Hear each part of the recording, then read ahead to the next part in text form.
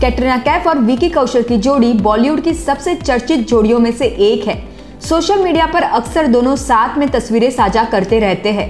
पिछले कुछ समय से दर्शक इस जोड़ी को साथ में किसी फ़िल्म में देखने के लिए उत्सुक थे।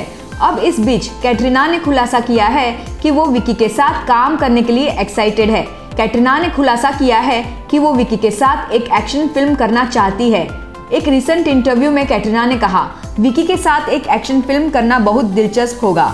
वो एक बेहतरीन कलाकार है और मुझे लगता है कि एक अभिनेता के रूप में उनके प्रति सम्मान के कारण हर कोई ऐसे ही महसूस करता है। विकी अपनी कला के प्रति हमेशा समर्पित रहते हैं। पर्दे पर उनके साथ काम करना बहुत रोमांचक होगा। वर्क फ्रंट की बात करें तो कैटरीना कैफ सलमान खान के साथ अपनी फ़िल्म टाइगर थ्री को लेकर चर्चे में है। जो 12 नवंबर को सिनेमाघर में रिलीज़ हुई। वैसे क्या आप विकी कौशल और कैटरीना कैफ की जोड़ी को ऑन स्क्रीन देखना चाहेंगे?